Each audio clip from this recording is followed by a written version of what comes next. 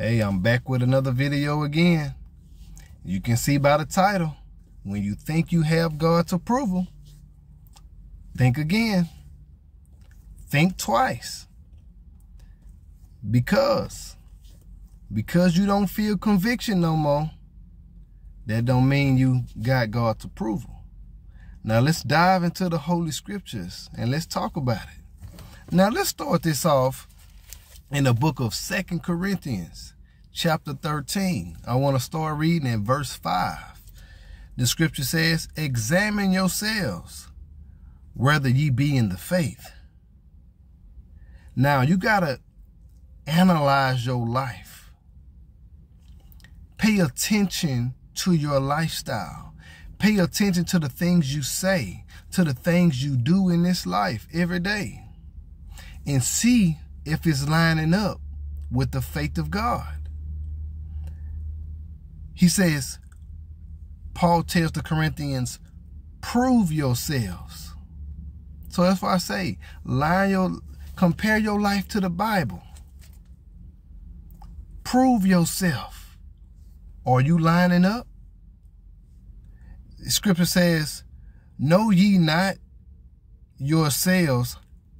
Like, don't you know is what Paul is saying, how that Jesus Christ is in you, except ye be reprobates. See, don't you know for those who have been born again that Jesus is in you now? But the only way he is not in you since you became born again is you became a reprobate. Reprobate has several different meanings like without morals, shame, it's a rejection. You are rejecting, uh, you unprincipled or morally corrupt, and you in opposition to what is right. Okay, so if you have became born again, Jesus Christ is in you. Paul is saying, telling the Corinthians, except they have now become morally corrupt or become uh, in a rejective um, lifestyle to the faith. That's why he tells them to examine themselves whether they be in the faith, to see if they in the faith. Let's continue. Verse 6, But I trust that ye know that we are not reprobate. See, Paul had that confidence that because he was able to examine himself. That's why he was able to tell the Corinthians to examine themselves because he knew he was in the faith, so he can speak from confidence. He says, Now I pray to God that ye do no evil. Not that we should appear approved. He don't want you to just appear approved. Don't do evil. Don't just appear like you are approved of God.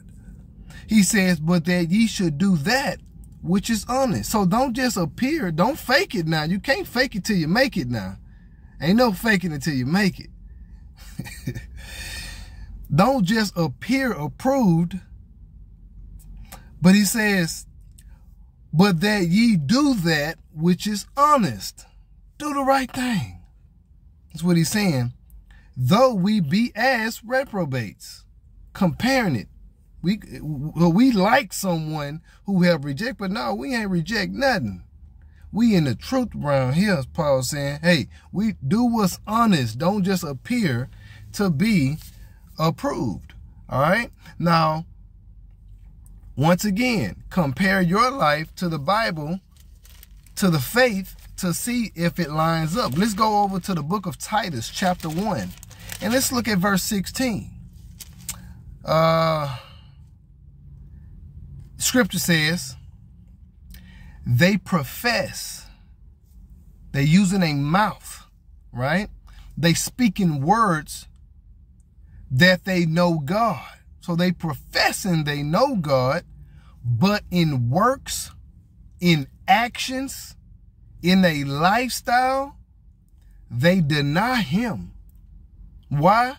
Because they just mouth. They say they know God. I'm of God. The Bible says that let they that name the name Christ depart from iniquity. Yeah, you got to depart from iniquity. You can't just be a mouthpiece about this, but you got to, your actions got to follow. Like the faith in the works. You can't say you got faith and don't have works to show it. Praise God. All right, so they profess that they know God, but in works they deny him, being abominable and disobedient, and unto every good work reprobate. All right. So they reject good works in their life. You can't see it. They don't have the works to follow. But they confess with their mouth, I know God. Well, you just a liar. That's what you are. Because Jesus says that, you know, his works have to abide in us we can't just be a mouthpiece about this. We, you know, faith without works is dead. Profession without works is a lie. Therefore, it's dead faith. All right. So, let me show you an example. When we come into the judgment of Christ, Jesus gave a perfect example of a person who profess with a mouth but their works don't add up. Let's look at Matthew 7. Let's go over to verse 20 and 21. 21, rather. Well, yeah, 20, 21. Jesus says, whereby by their fruits ye shall know them. See, that's the actions, that's the works that Paul is talking about. You can't just be someone that appear to be approved and living right or you know uh, in the faith. You can't appear that way because jesus said by your fruit they shall know you. You should know them by their fruit. Okay? It's the action what how's their lifestyle um showing? What are they doing? What are they doing? Do they line up with the faith? Do they line up with the scriptures? Or they just talking? A lot of people just talk all right we all get, I'm guilty of it before, but now I'm trying to walk in this thing right. All right. Now let's look at 21. So Jesus said in 20, wherefore by their fruits ye shall know them. In verse 21, not, now listen, this is a perfect example of speaking, doing things with your mouth, speaking, professing, but don't have the works to show. Not everyone that saith unto me, Lord, Lord, shall enter the kingdom of heaven. See, they professing, Lord, Lord, but he says not everyone that do that is going to enter the kingdom of heaven.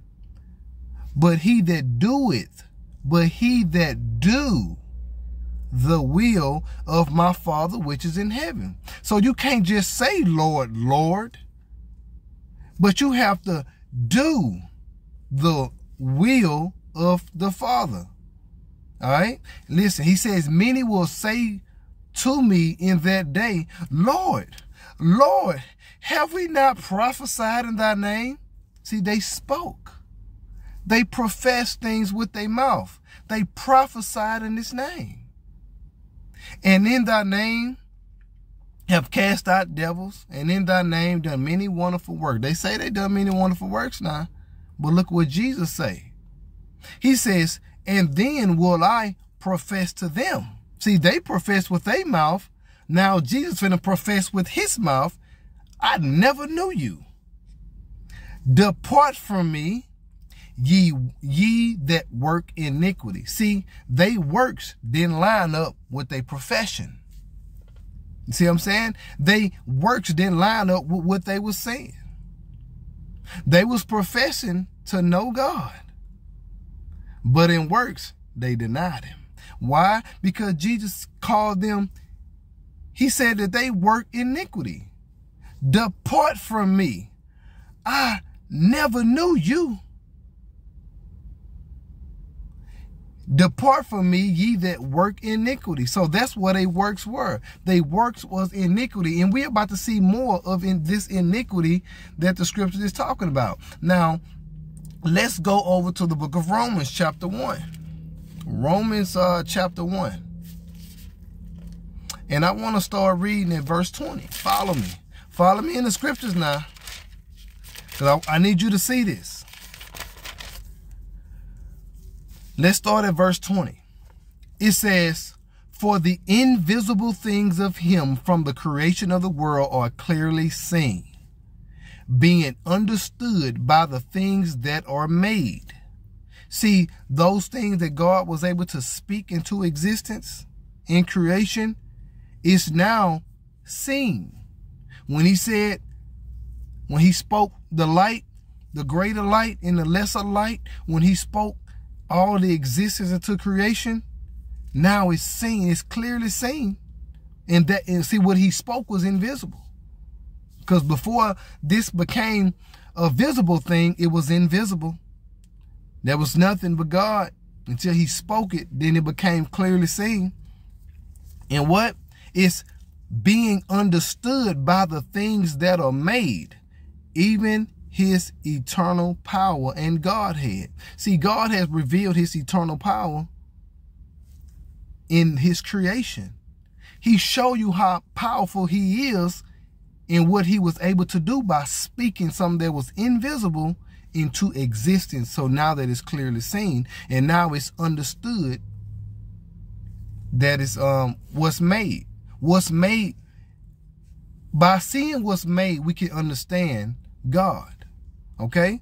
He says, even his eternal power and Godhead. God revealed himself through um I'm, I'm gonna use G, through Jesus Christ because in Christ dwelleth the the uh, fullness of the Godhead. It was in him bodily. All right. And look, so that they are without excuse. So unbelievers don't have an excuse because what's invisible has been um, understood by the things that are made. So the unbelievers are without excuse. Because that when they knew God, they glorified him not as God. See, God didn't get the glory he deserved, being God. All right? Because look how powerful he is. Look what he was able to do. Look what he did through Jesus. So, when they knew God, they glorified him not as God, neither were thankful. They weren't even thankful to God, he's saying. Paul is saying. But look, he says, uh, but became vain in their imagination. So instead of thanking God, they became vain in their imaginations. All right? In their thinking and their foolish heart was darkened. They they little foolish heart in them, it became dark. Jesus said that uh, men love darkness more than the light. It says, uh, professing themselves to be wise, so they profess to be wise. But look what he said they became fools. See, foolishness with man, I mean, wisdom with um man's wisdom is foolishness to God. And it says, and change the glory of the uncorruptible God into an image made like to corruptible man. See, they will make um you know Israel man um you know they will make them them idols. They will make idols out of different things. Even a man idol. Look at Buddha today. Buddha, a fat man fat bald head Asian man. All right, that's an image made like unto corruptible man. But so they changed the glory of the uncorruptible God into an image made like to corruptible man and to birds and four-footed beasts and creeping things. They will make idols of animals and stuff. They didn't they didn't want God. They didn't want the eternal uncorruptible God. They rather make a false God, fake God They can't even talk. Can't do nothing for him. And that's proven in scripture. Now look at Elias when he when he dealt with those those Baal prophets. God, the real God, proved himself when he set everything on fire. The offering and and um the, all the water and everything that was burnt up, dried up. That's a different story there. But so let's go to 24. Wherefore God also, so now this is what God did. Wherefore God also gave them up to uncleanness through the lust of their own heart. See, God, if you don't want to retain God in your knowledge, guess what he'll do? He'll give you up to that uncleanness. If you don't want to abide in the will of God, he ain't going to force you. He'll warn you. He'll try to correct you. But if you adamant that you is going to do what you're going to do, he'll give you up to that uncleanness through the lust of their own heart. So he'll let you do the things that that's in your heart. Jesus says out of the heart proceeded fornications, adulteries, and murders, and all that stuff is in the heart. So if you is adamant that you want to do that, God will give you up to do that. So those lust in your heart, he'll let you do it. Why? And look what he say. And he'll let you do it to dishonor their own bodies between themselves. Hey, you made your mind up. So God gonna make his mind up. I'm gonna let you do it. But don't think you're gonna get away with it now. Let's keep going. So, who changed the truth of God. So they changed the truth of God into a lie. So everything that God said don't do, everything God say is right, man today say um they do the things God say not to do. And they call the things that God said right wrong. I know you heard it plenty of time from preachers. They call evil the, the scripture says that they call evil good and good evil. So what's good to God is bad to us. For example, marriage. The Bible says marriage is honorable in all. Men today say they don't want to be married or you ain't got to be married. I don't want to be no married. They think that's a bad thing. Let's keep going. So they turn who changed the truth of God into a lie, just like homosexuality. God say it's an abomination. Men today, they walking around with, with rainbow flags. But God say that's a lie. So they turned the truth of God into a lie as if what God saying and doing is, is, is, is wrong. And worshiped and served the creature more than the creator. People do that today. They put men above God. Even in the this faith, people value men's words over the words of this Bible. They would take a man's, a preacher today, a so-called prophet apostle today, they'll take his words and his interpretation over the Bible, over what's written from God by holy men that were instructed to write it from the Holy Spirit. But they'll take a man words today saying he got revelation or it's a mystery. and I'm saying it because I heard it for myself. It's crazy. But anyways, so they worship and serve the creature more than the creator who is blessed forever. Amen. Let it be so. For this cause, now for this cause, for this reason, God gave them up unto vile affections. Vile affections, shameful passions. So God will give you up to those shameful passions. For even their women did change the natural use into that which is against nature. Lesbian.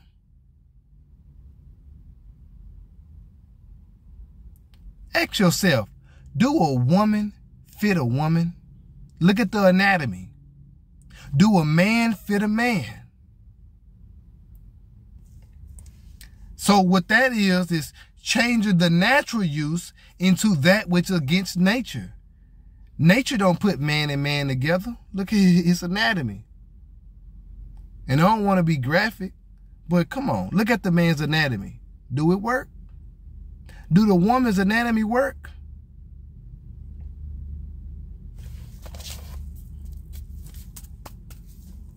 Do that work. What's the right fit? All right? Man for woman, woman for man. That's the way God made it. The Bible says that man shall leave his father and mother and join to his wife. That's a man and a woman. And the two become one. Now we one, we one piece. We one whole now. We one together.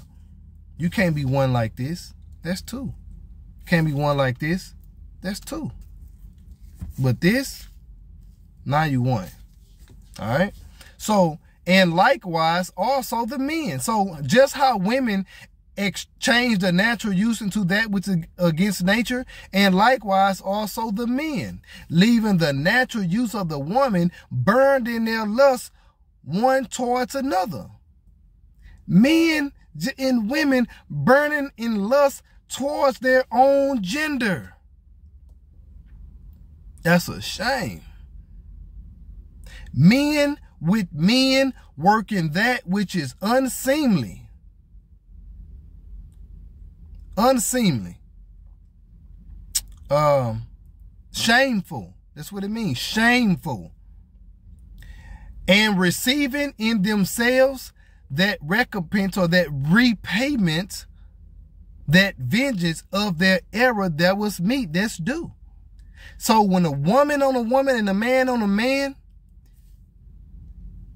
and you changing God's truth into a lie, they are receiving in themselves that recompense or that repayment of their error, which is due to you. God is a loving God, but he is a just God.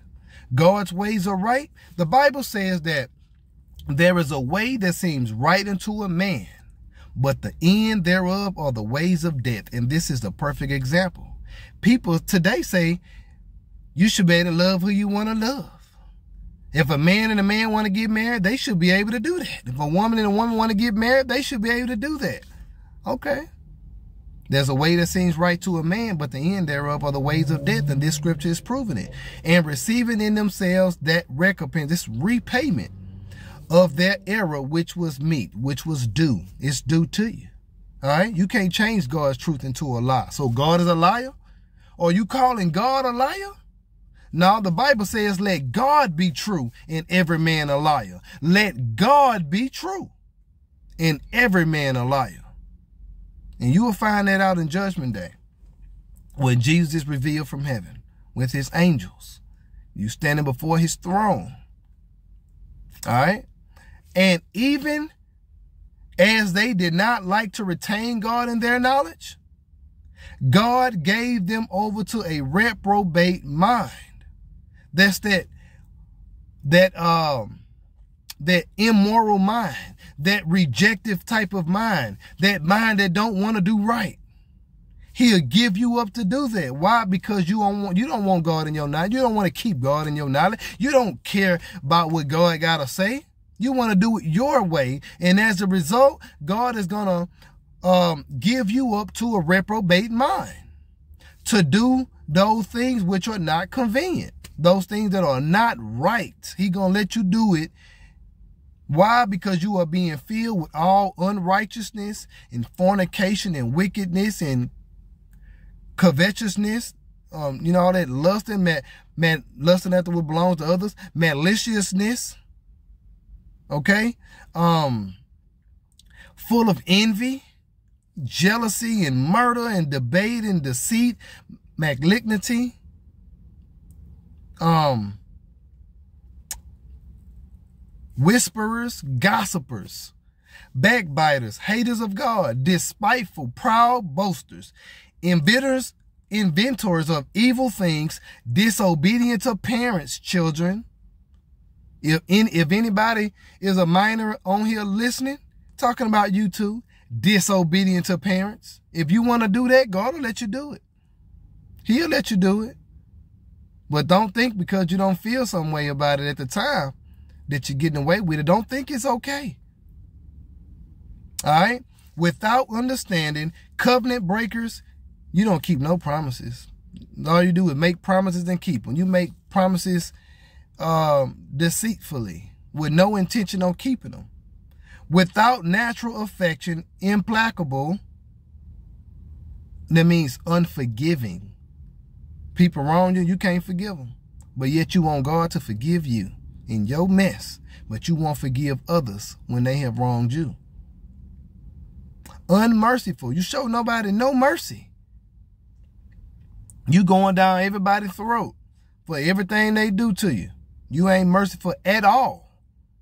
But the Bible says that he that um he that is um I'm just gonna paraphrase. If you're not merciful, then God's not gonna be merciful to you. even in judgment. But he that give mercy shall receive mercy. So, to get 32. So, person do all these things who knowing the judgment of God that they which commit such things are worthy of death.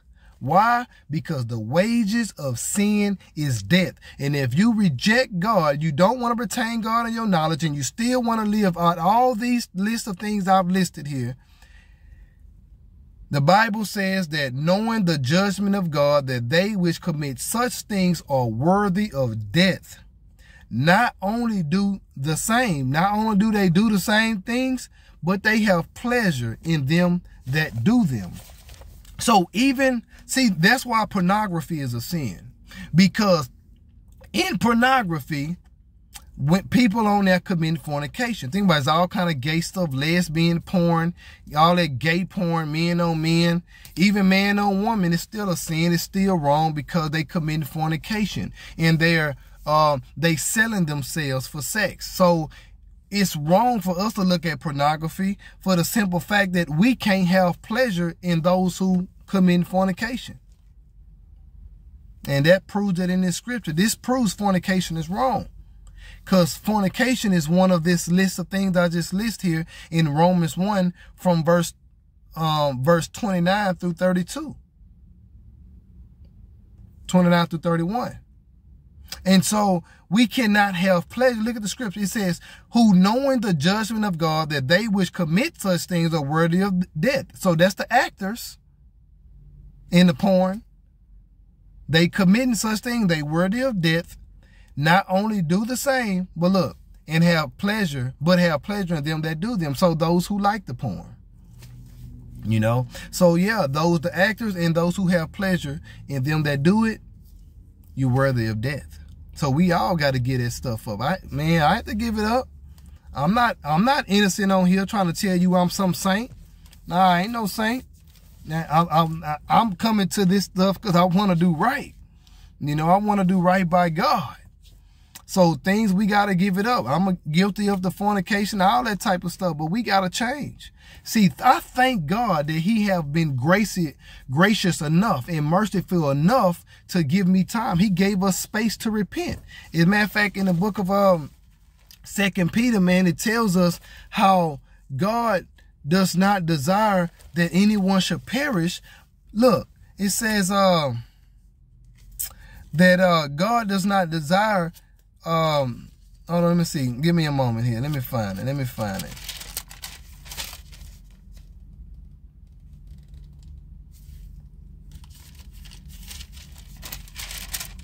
Here we go. Second Peter chapter 3, look at verse 8.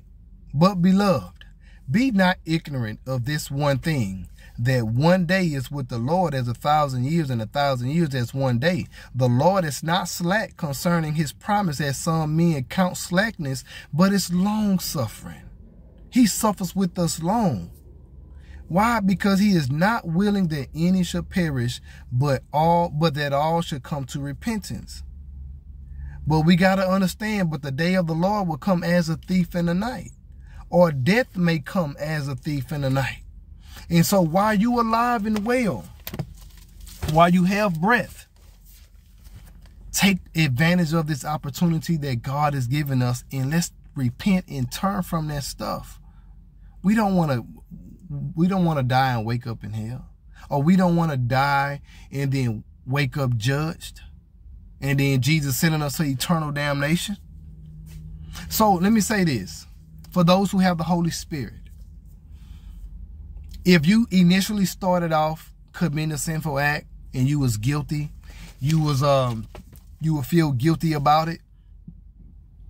And and you would, you know, try to repent and go back into it, and then eventually you kept committing the act and then you stopped feeling guilty. It don't mean because you're not feeling guilty no more that God has approved it. It don't mean that you're okay now. It don't mean that you out of hot water. It don't mean that aren't burning coals on your head. What you done is quench the spirit.